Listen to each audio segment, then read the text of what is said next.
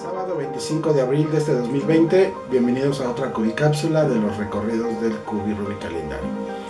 En esta ocasión nos encontramos en la Sierra Poblana, al noroeste del estado, muy cerca de Huachinango, muy cerca del estado de Veracruz, en uno de los puntos más importantes y más bonitos del pueblo mágico de Zacatlán de las Manzanas.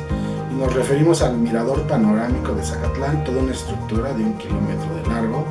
está construida de concreto, de acero y sobre todo de vidrio templado, que es donde nos podemos parar y tener a,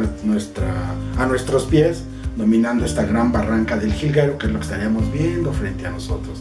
También es posible ver desde este lugar la impresionante cascada Cola de Caballo, sin lugar a dudas uno de los lugares más bonitos, más representativos, muy cerca de la Plaza de Armas del pueblo de Zacatlán. Solo algunas cuadras nos separan de este punto natural al borde del pueblo para tener esta impresionante vista de la Sierra Poblana.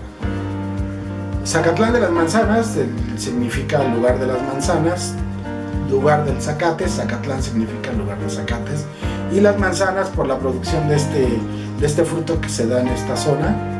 Aproximadamente al año se producen más de 320 mil botellas de sidra gaseosa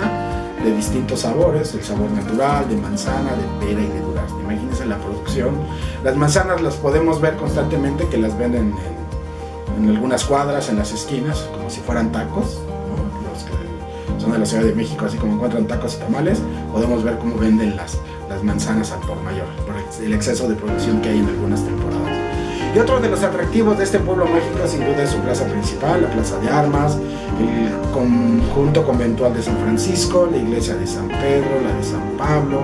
el reloj floral, el museo de los relojes, la comida, la gastronomía, ese pan de queso que es muy rico, que muchas veces vemos que se venden en muchos lugares, que es traído precisamente de Zacatlán de las Manzanas, un pueblo mágico de los, de los múltiples que tenemos en nuestra República Mexicana, los invito a que vengan a, conocer